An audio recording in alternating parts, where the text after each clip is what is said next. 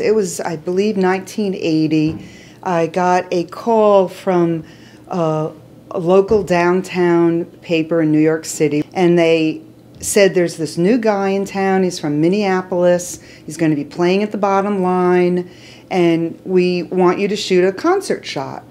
And I'm like, great, used to doing that, love that.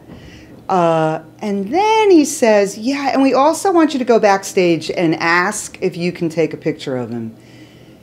That I'm not so comfortable with. It's early in my career, and assignment wise, you're accustomed to things being set up.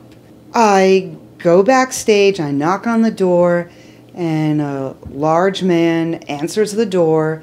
And I say, uh, I'm here from the Soho Weekly News, and they've asked if I could take a picture backstage of Prince. And he said, Yeah, sorry, uh, Prince doesn't do that.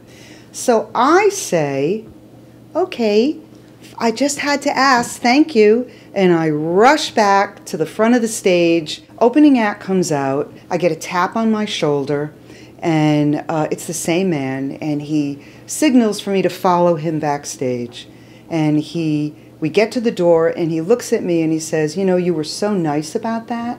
Come on in."